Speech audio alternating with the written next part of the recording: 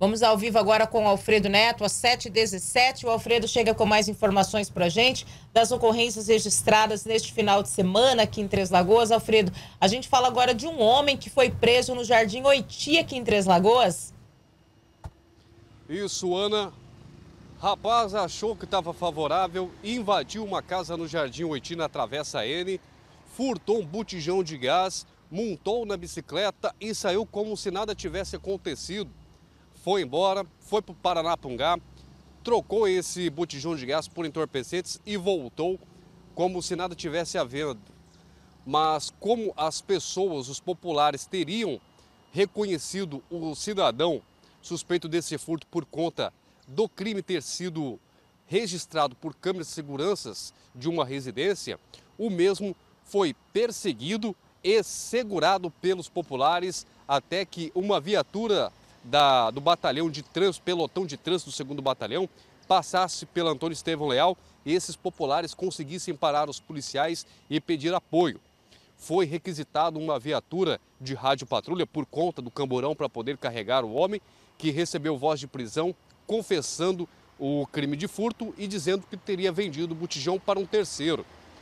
O homem foi levado para a DEPAC, aonde foi autuado em flagrante pelo crime de furto e agora fica a, a critério da Polícia Civil tentar identificar quem é esse receptador e recuperar esse botijão de gás ou o valor para ser ressarcido à vítima, já que no boletim de ocorrência não foi discriminado se foi recuperado ou não o produto.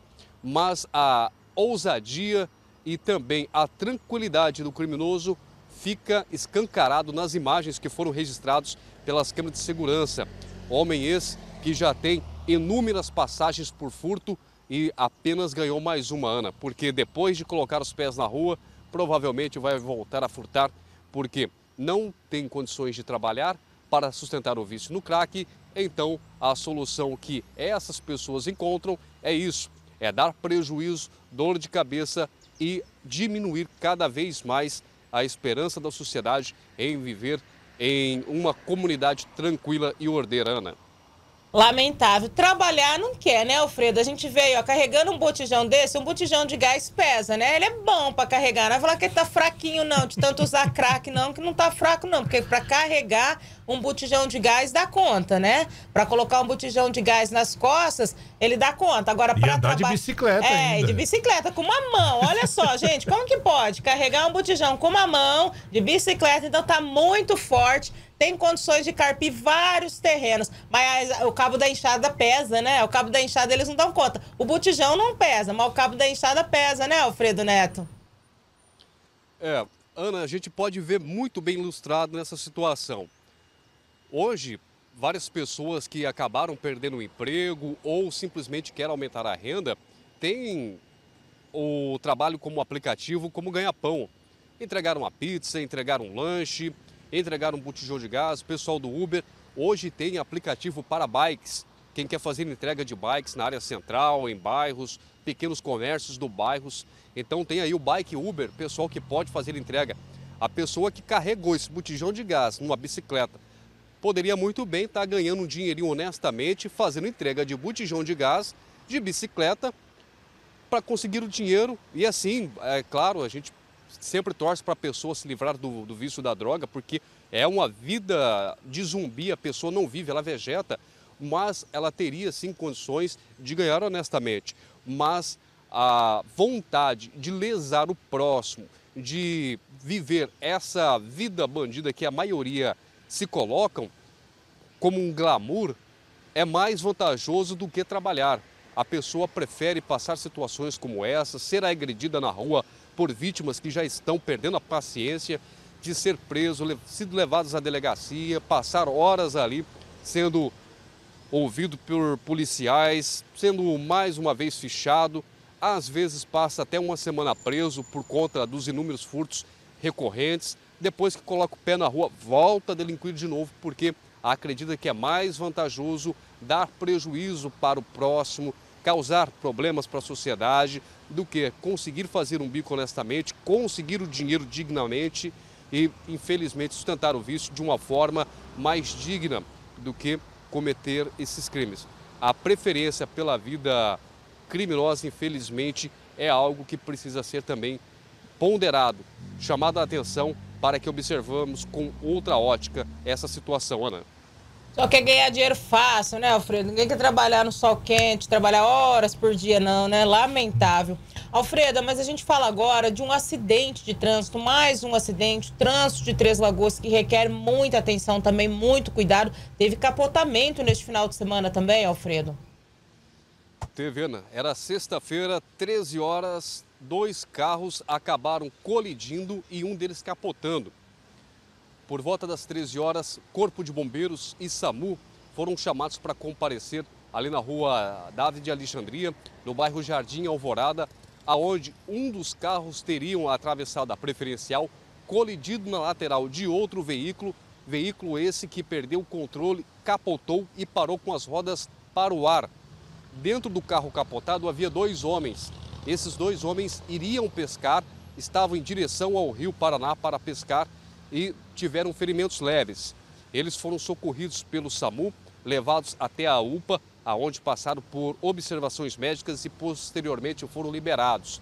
A Polícia Militar foi até o local, conversaram com o homem que dirigia um veículo que causou o acidente e o mesmo relatou aos policiais que não teria observado o carro que capotou vindo na sua esquerda por conta da, da barra que segura ali o para-brisa sendo o ponto cego aonde ele não teria visto o carro e por conta disso teria causado o um acidente. Bom, essa foi a versão dele dada para os policiais militares que registraram o boletim de ocorrência. Nenhum dos envolvidos estava alcoolizado. O motorista desse carro que causou o acidente permaneceu no local, foi atendido no local mesmo pelo SAMU e recusou ser transportado até a UPA. Ficou no local, prestou depoimento e depois foi liberado.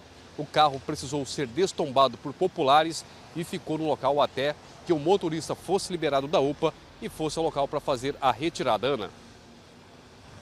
Olha, Alfredo, a gente fala agora de uma outra ocorrência que é muito triste, é, que acontece muito aos finais de semana, que é a violência doméstica. Mas essa ocorrência é muito lamentável, Alfredo. Uma mulher, ela teve 25% do corpo queimado pelo marido, pelo Isso, companheiro, Ana. Alfredo. Conta esta ocorrência pra gente que eu não estou acreditando.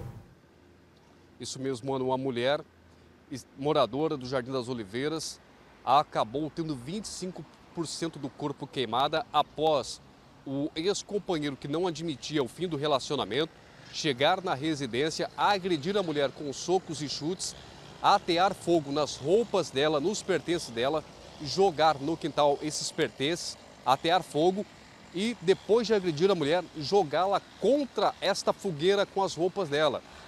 A mulher foi socorrida pela polícia militar, que foi até o local chamada por vizinhos. O autor fugiu do local em um veículo Monza de cor vermelho. Ele que mora em outra cidade e teria vindo até Três Lagoas única e exclusivamente para agredir a mulher.